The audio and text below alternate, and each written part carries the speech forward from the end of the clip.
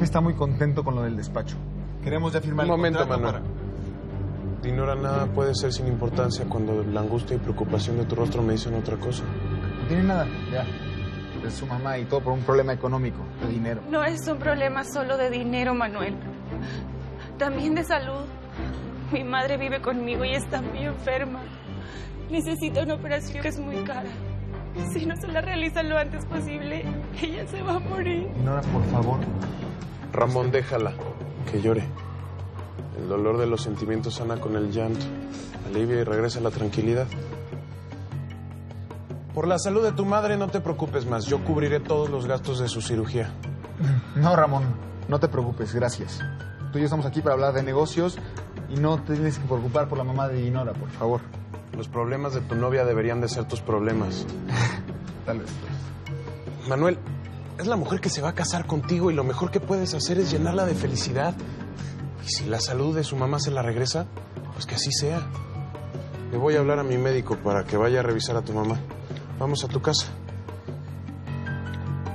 Vamos. Bueno. Sí. eh, necesito que vayas a una dirección. Ahorita te la doy. ¿Dónde vives, señor? Sí, la casa es muy linda, pero la renta es carísima. ¿Por qué la rentaste, Manuel, cuando no tienes dinero para pagarla? ¿Qué pasa contigo? Mira, si invitamos a comer a Ramón, no lo voy a llevar a donde vivía antes. Qué pena. Esta casa sí va con mi personalidad. Con la nueva vida que me espera como socio del despacho y como socio de Ramón y de la constructora. Mi amor, esto es lo que siempre soñé. Vivir como rey. Y que el mundo esté a mis pies. Ramón es un gran ser humano. Le salvó la vida a mi mamá. Se nota que Ramón te estima demasiado y que aprecia demasiado la amistad que tuvieron desde niños. Yo nunca hubiera pensado que Ramón me estimara tanto. Porque la verdad no fuimos tan amigos en la secundaria. Él era muy serio y siempre estaba ahí en la esquina, en el rincón. Por eso le puse la sombra. Nadie se daba cuenta que estaba ahí. Era una sombra. Para que veas que uno nunca sabe cuándo el mundo va a dar la vuelta. Ramón puede ser quien te ayude a tener el trabajo de tus sueños y tus deseos de vivir como rey. Ramón es un gran amigo y nos lo acaba de demostrar con lo de mi mamá.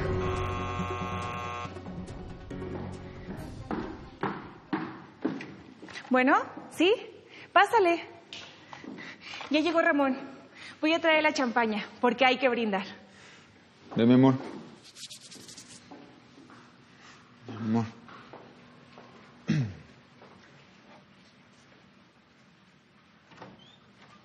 Ramón, bienvenido a mi casa, tu casa. Muchas gracias. No, hombre, Manuel, ¿y cómo estás? mi hermano, lo que se ve no se pregunta. Estoy fantástico. Eh, espero no haber llegado muy temprano. No, no, Ramón. Eres tan puntual y muy formal como pocos. Dinora, ¿cómo está tu mamá? Recuperándose favorablemente. Gracias. Muchas gracias, Ramón, por apoyarme con su cirugía. No, no hay nada que agradecer. Con esa sonrisa que ya regresó a tu rostro, estoy más que pagado. Mi amor, este, ¿por qué no vas preparando la mesa? En lo que platico con Ramón sobre el negocio. Sí. Y salud. Salud. Mi amor. Salud, salud, salud.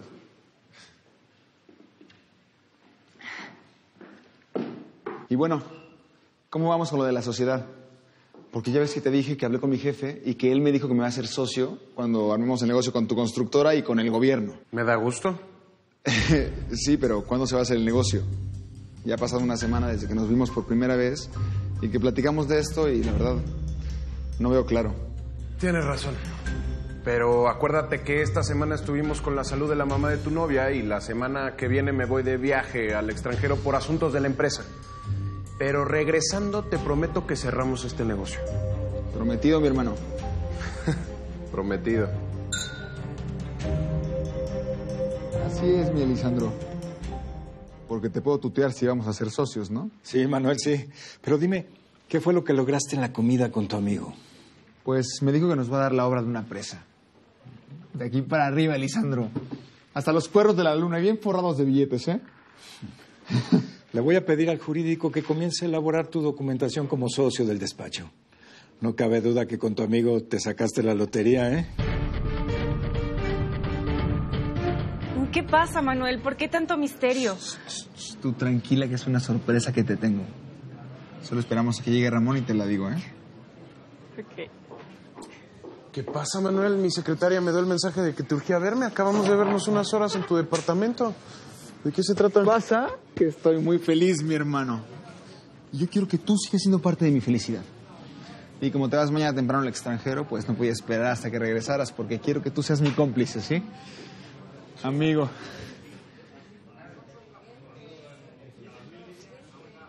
Sí, mi amor. Es un anillo de compromiso. ¿Te casas conmigo? Manuel, yo. Yo no me lo esperaba. Sí me quiero casar contigo. Sí. Mesero, mesero, por favor, una botella de champán, por favor, que hay mucho que celebrar. Claro que sí. Muchas felicidades. Gracias, mi rey. Y tú vas a ser nuestro padrino, sí o sí, ¿ok? ¿Ok? ¿Eh? a celebrar. ¿Qué pasa, socio? ¿Por qué tanta urgencia de verme? ¿Sabes qué es esto? Son los documentos que te hacen ser socio de este despacho. Solo faltaría tu firma. Y mi firma no es ningún problema, socio. Es más, para firmar este documento fue que me compré esta pluma de plata. Porque la ocasión lo amerita. ¿Qué pasa, socio? ¿Cuál es el problema? El problema es que me mentiste con el contrato de la presa que nos iba a dar tu amigo. Presentamos nosotros una licitación para tener el proyecto, pero la constructora López Nelio no intervino para que nosotros la ganáramos. Ya lo tiene otro despacho. ¿Qué? ¿Cómo que es de otro? Ramón me lo prometió a mí. No sé cuál de los dos está jugando chueco. Si tú conmigo o él contigo. No, no, no, yo no te estoy mintiendo. Déjame hablar con él y, y ver qué fue lo que pasó. La oportunidad la tuviste, Manuel. Las equivocaciones tienen un precio y el tuyo es muy alto. No vas a ser socio ni empleado porque estás despedido. Dinora, me corrieron de mi trabajo. ¿Qué parte no entiendes? Dime. Me corrieron. Manuel, me estás lastimando. Suéltame. Cállate. ¿Y ahora qué voy a hacer? Por culpa de Ramón no tengo trabajo ni voy a ser socio. Ni dinero. Todo lo invertí en la renta de esta casa, en nuestra ropa, en comprar tu anillo. ¿Sabes qué? Dámelo. Dámelo, lo voy a vender para recuperarme. Dámelo.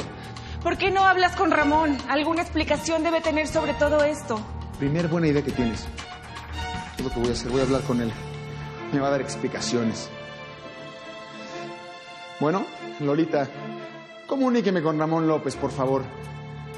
¿Qué? ¿En una junta? No voy a dejar ningún mensaje. Voy para allá en este momento. Me va a escuchar.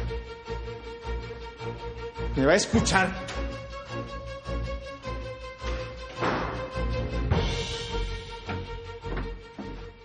Vaya, hasta que te dignas a recibirme.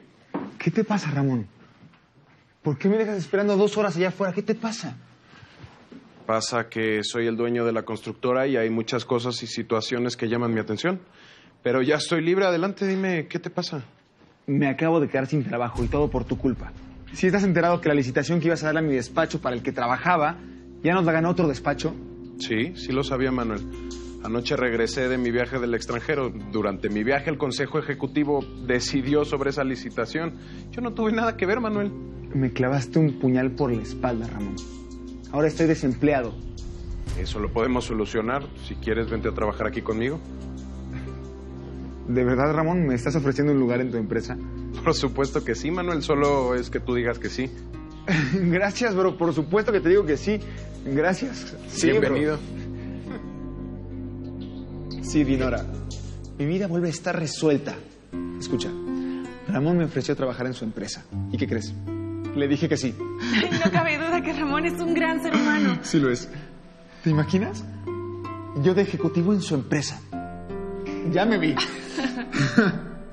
Mi amor, ya no habrá motivo de dejar esta vida, ni esta casa, ni tampoco de vender tu anillo.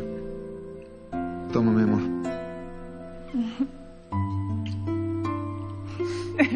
¿Quieres ir a celebrar? Mi amor, ¿sabes qué? El despacho se va a arrepentir de haberme corrido. Y cuando me hablen, porque me van a hablar para que regrese con ellos, voy a tener el privilegio y el placer de mandarlos a la goma de una patada. Bueno, a celebrar. Vamos a un lugar bonito. Ten tu bolsa. Mi amor.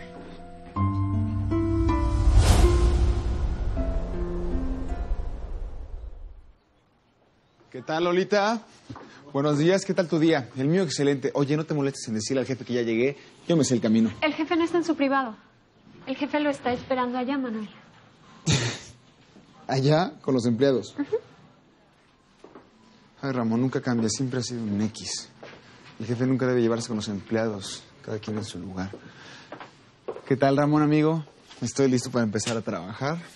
Listo para cambiar al mundo y para hacer de esta empresa una triunfadora. Oye, este, vamos a la oficina a ver los as- asuntos del día.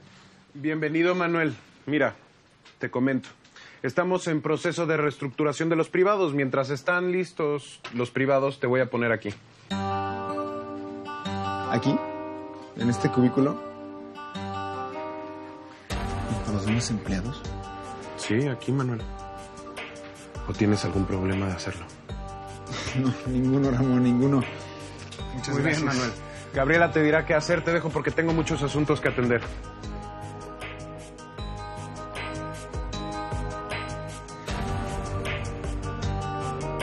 Y Ramón me sentó junto a los demás, junto a la chusma.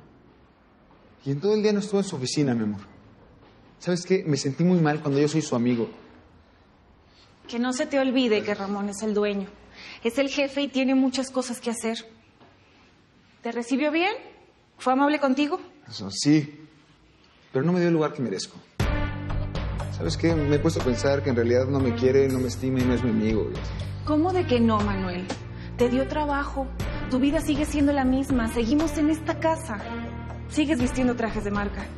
No vendiste mi anillo. Pero ponerme con la plebe, o sea, ¿de qué se trata? Con nada se te tiene contento, Manuel. Cuando Ramón es un gran hombre, es ¿Tú por qué lo defiendes tanto, eh? ¿Qué tienes que ver con él o qué? nada, no, no tengo nada que ver con él. Pero sí tengo mucho que agradecerle por la vida de mi madre.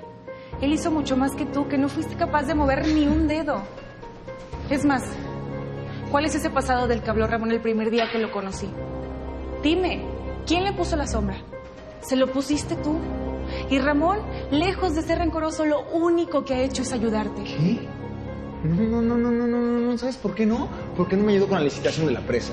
Él no tuvo nada que ver con que te corriera nada, pero no te ha dejado solo. Al contrario, te llevó a su empresa a trabajar y te dio un mejor sueldo que en tu trabajo anterior. Dime, ¿por qué le pusiste la sombra? ¿Por Mira, qué? ya. Estábamos en primero de secundaria. Pedí una competencia de natación contra él. Él nunca había competido. Yo quedé en segundo lugar. Quedé mal enfrente de toda la escuela. Desde ese día me cayó gordo y lo odié. Y a partir de ese día no lo dejé en paz. Le puse la sombra porque me prometí que eso iba a ser de mí toda la vida. Mi sombra. Es que me acuerdo que le ponía pica pica en el uniforme y en el traje de baño. Sí, lo traté muy mal. Pero eso lo hacemos todos cuando somos niños. No todos, Manuel. ¿Te estás escuchando? Le hacías bullying. Mi amor, antes no se le decía bullying, ¿sí? Antes eran juegos de niños. Los golpes, las agresiones, los insultos y el maltrato no son juegos de niños. Eso es bullying. No sabes lo decepcionada que estoy de ti, Manuel.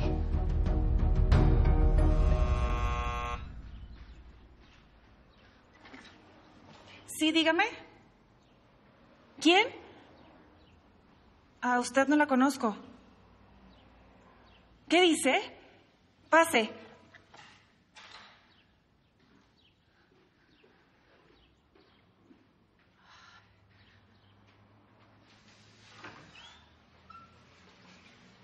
Dígame, señora, ¿cómo está eso de que Manuel tiene una hija? Sí, es ella. Y se llama Manuela. Le puse así por Manuel, quien es su padre. Cuando él supo que estaba embarazada, me abandonó. Pero ahora necesito de él para mantenerla. ¿Está él?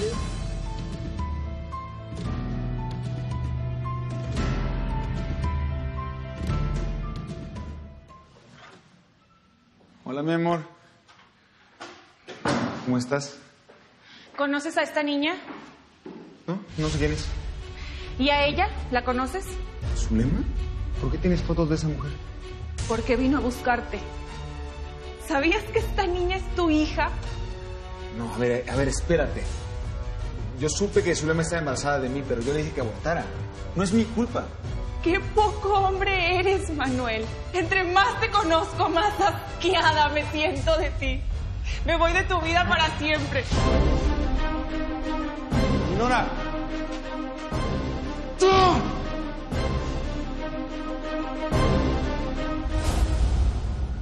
Quiero ver a Ramón ahora mismo. Voy a renunciar. Acabo de cobrar mi primer 15 y no pueden ser tantos descuentos. ¡Mi sueldo se hizo agua! Dile a Ramón que quiero verlo. Pues tendrá que ver su renuncia con los contadores, porque el señor López no puede atenderlo. Pues me va a atender. Manuel, espere, espere. Ramón, ya no te escondas porque vengo a renunciar. Señor, no pude detenerlo, perdón. Déjalo, Lolita. Acepto tu renuncia, Manuel. Lo que me haces no tiene nombre. Hace 15 días que no me recibes. Me quitas todo mi sueldo con descuentos inventados. Por tu culpa perdí mi otro empleo y por tu culpa perdí a mi novia. Fuiste tú, obviamente, quien le dijo a Zulema dónde encontrarme.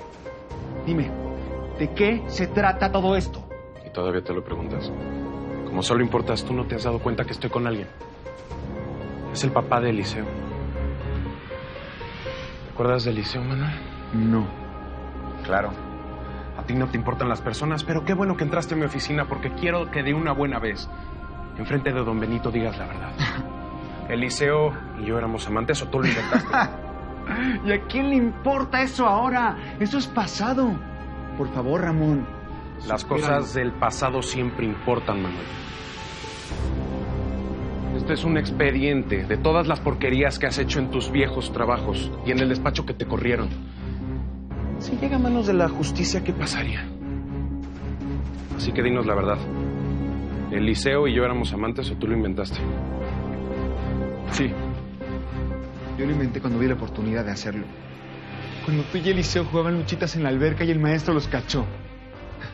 Fue una mentira que eran novios, pero eso a quién le importa. ¿Cómo puede ser tan miserable? Domenito, por favor, salga con Lolita. Vaya. Esta es la nota que salió hace nueve años, cuando Eliseo se suicidó por tu mentira. Tu papá, al igual que el mío, todos estos años creyeron tu mentira, que Eliseo y yo éramos novios. Nos martirizaron todos por tu culpa.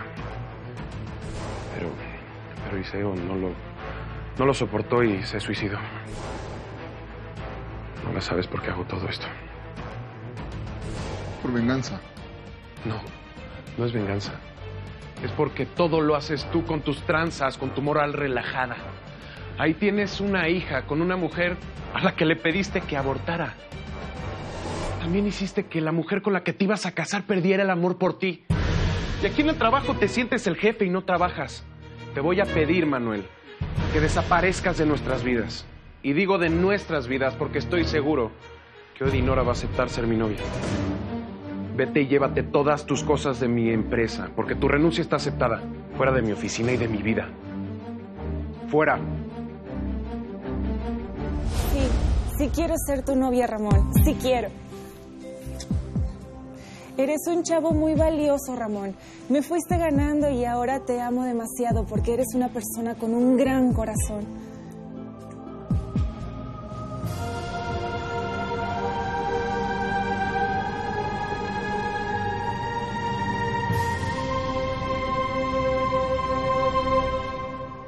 Te amo.